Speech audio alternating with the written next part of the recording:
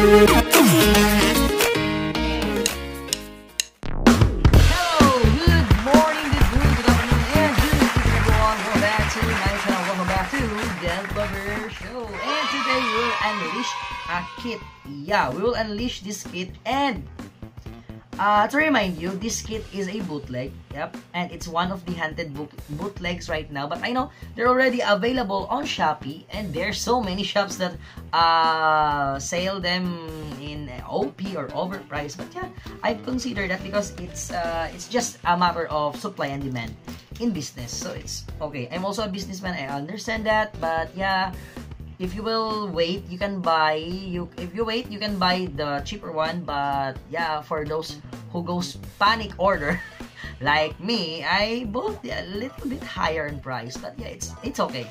So without further ado let's open this kit right here. Let's go with my cutter.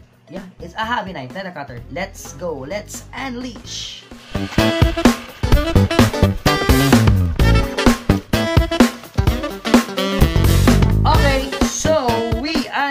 unleash the the HGRX 124 Fighter TR6 Woundwort Woundwort or Woundwort in uh, Bandai.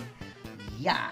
So in Bandai, this is already a premium Bandai kit, and it's not a not uh, let's say release which we can really get it. Yep. So I think there's also a Woundwort was that was already a bootleg on the past. I think that starts in uh, early 2000s. And then we have here right now another bootleg which is I think it follows the HG model or the premium Bandai HG model of the Woundwort. Okay, it's not Woundwort. I know it's Woundwort. Yeah.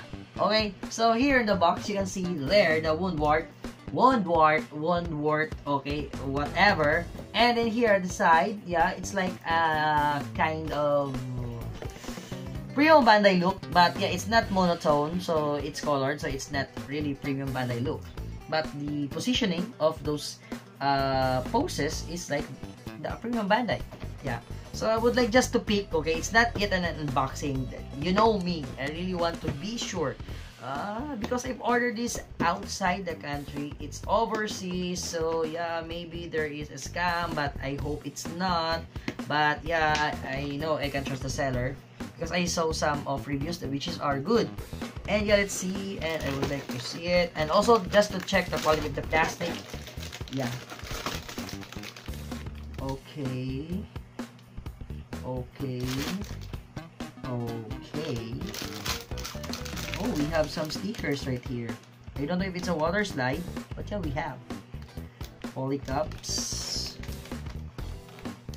Mm, I think it's like, uh, for me as a already almost 8 years as a Gunpla uh, builder, the um, the quality of the plastic is like Daban. It's like Daban. Yeah because it's it's uh, if it's TT Hongli kind of plastic there will be something mold lines that we can see it that we can see on the surface uh, of the uh, plastic. But right here it's not but there is some some something that I can see that's like a daban kind of plastic.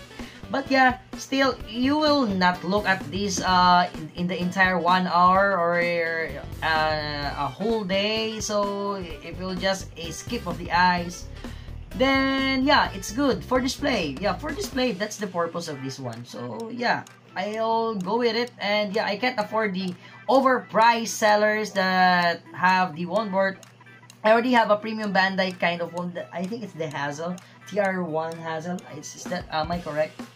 Yeah.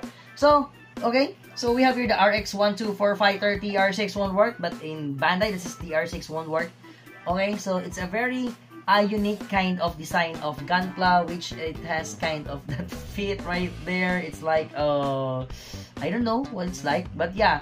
Uh, because this gunpla or this gundam is meant to uh, fly on space or hover on space. So it doesn't need some fit. So it's it needs boosters and some gliding kind of mechanism so, yeah, that's it. Okay? So, that's our video for today. That's it for now, guys. Thank you so much for watching. So, if you are interested in this kind of content, please do consider to like, share, comment, subscribe, and please hit that notification bell to be informed for my next videos and contents next time. There's still so many kinds of contents here on the channel. Okay, so it's for now guys. Thank you so much. Good morning, good noon, good afternoon, good evening, and good night. Just the best and off. And come over show. Bye.